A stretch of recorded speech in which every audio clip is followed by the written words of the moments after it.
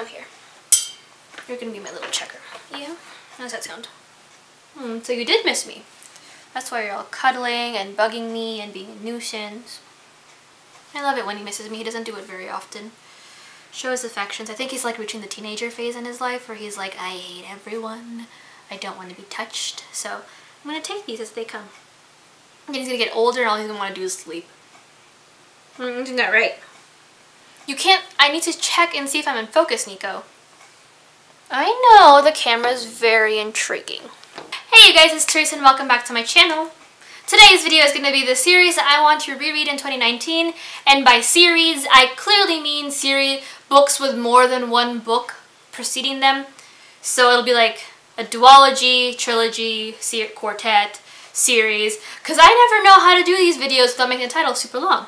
But the first series, or trilogy, quartet, thing that I want to read is A Court of Thorn and Roses by Sarah J Maas. If you guys don't know, oh, Sarah J Maas has quickly become one of my favorite authors of all time, alongside Cassandra Clare, and a lot of her writing and how she writes her characters have heavily influenced my own writing style and my own personal way of writing characters and plots and all that stuff. So it's no surprise I want to reread the series. I technically haven't finished this yet. I have a Court of Thorn, a Court of Frost and Starlight sitting back here that I need to finish in December. But even then, I don't think the series is over just yet, so... But until we hear more news about that, I'm it as done and reread it. So if you guys don't know, this follows 19-year-old Feyre as she kind of kills a wolf to find out it's a fairy and is dragged into the courts as kind of retribution for, for killing this fairy person and realize it's like a weird Sleeping Beauty retelling but also not. So I'm excited to go ahead and reread this book and fall in love with the characters all over again and cry all over again. The next series I need to pick up or reread over 2019 is really no brainer. I just mentioned her name like a couple minutes ago. I finished her latest book like a couple days ago. Her, her newest series just got announced a couple days ago, so, and that's Immortal Instruments by Cassandra Clare. This follows 16-year-old Clary Fray as she goes into Pandemonium Club and watches a group of people kill a guy only he's not a guy, he's a demon, and she's not a girl, she's a shadow hunter whose entire life is dedicated to hunting demons and maintaining peace. And like I said, Cassandra Clare is one of my favorite YA authors like ever. I reread this book whenever I'm in a writer's block and she has heavily influenced not only my life but also my writing style and everything else in between. So I'm excited to reread the series that kind of did her that did it that did me in for her writing style and everything and captivated me and see how much I loved it. But I mean, I scream anytime Jace is on the page and anytime Alec and Jace have a bromance moment. So I'm this is not going to be a surprise if I still love it. The next series I need to finish, I want to reread is actually not even done yet. And the author's had some issues in her life and she hasn't been able to finish it out. But that is The Night World by L.J. Smith. Now this follows a cast of characters and it follows this entire world like it's an urban fantasy again and we follow a bunch of vampires and humans and witches and ghouls and everything and witch hunters no witch hunters vampire hunters where they kind of, um, what's the word, intermingle and see how that works and see that some of these old laws that have been put in place aren't really working out anymore and that these old powers are starting to come back. And I'm excited to reread this. I loved it growing up. One of my favorite all-time series ever. I just wish it would get finished soon and if anyone knows about any news of this or what's going on, let a sister know because I would really like to know what's going on. The next series on this list is a trilogy and it has a spin-off already that I'm kind of hesitant to pick up but it also involves Noah so I can't really say no. And that is The Unbecoming of Mara Dyer trilogy by Michelle Hodkins.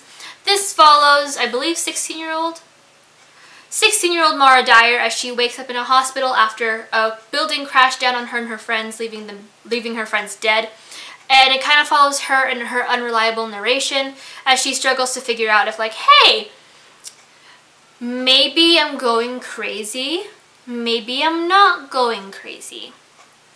So I'm really excited to see if I still liked it. I picked up the three books in like a span of like a month or two in my freshman year of, of college.